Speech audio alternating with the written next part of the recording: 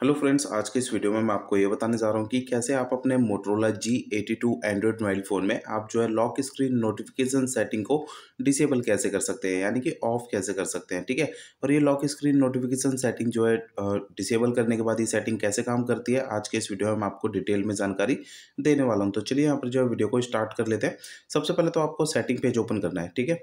Setting page open कर लेंगे तो आपको नीचे की साइड आना है और यहाँ पर आपको डिस्प्ले का ये ऑप्शन मिल जाएगा डिस्प्ले पर सेलेक्ट करना है। अब यहाँ पर आपको डिस्प्ले के इस पेज में नीचे की साइड आएँगे तो यहाँ पर आपको लॉक स्क्रीन डिस्प्ले का ये ऑप्शन मिलेगा, ठीक है? इसे सेलेक्ट करना है। अब यहाँ पर आपको लॉक स्क्रीन डिस्प्ले के इस पेज में लॉक स्क्रीन का ये ऑप्शन मिल जाता है, ठीक है? इसे सिलेक्ट करना है। अब यहाँ पर लॉक स्क्रीन का छोटा सा पेज ओपन होता है, इसमें आपको जो है तीसरा ऑप्शन सेलेक्ट करना है थर्ड वाला, ठीक है? Don't show notification at all इसके सामने सर्कल है, इस पर आपको सिलेक्ट करना है। तो यहाँ पर आपकी जो लॉक स्क्रीन नोटिफिकेशन सेटिंग जो है, ये आपकी डिसेबल हो जाती है इस तरीके से, यानी कि ऑफ़ हो जाती है। अब मैं आपको ये बता देता हूँ, ये सेटिंग जो है डिसेबल होने के बाद काम कैसे करती है, ये मैं आपको बता देता हूँ, ठीक है?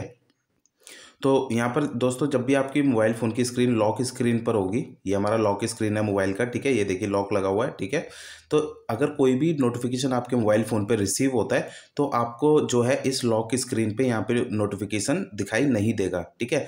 जिस किसी का एप्लीकेशन का नोटिफिकेशन आया होगा आपके मोबाइल फ़ोन में, उसका नोटिफिकेशन उसके ऐप में चला जाएगा, लेकिन यहाँ पर आपको लॉक स्क्रीन पर दिखाई नहीं देगा, ठीक है? तो ये लॉक स्क्रीन नोटिफिकेशन सेटिंग जो है डिसेबल करने के बाद इस तरीके से काम करती है, ठीक है? अब मैं आपको ये बता देता हूँ कि आप इस सेटिंग को जो है शॉर्टकट तरीके से अपने मोबाइल फ़ोन में कैसे ढूंढ सकते हैं, ठीक है?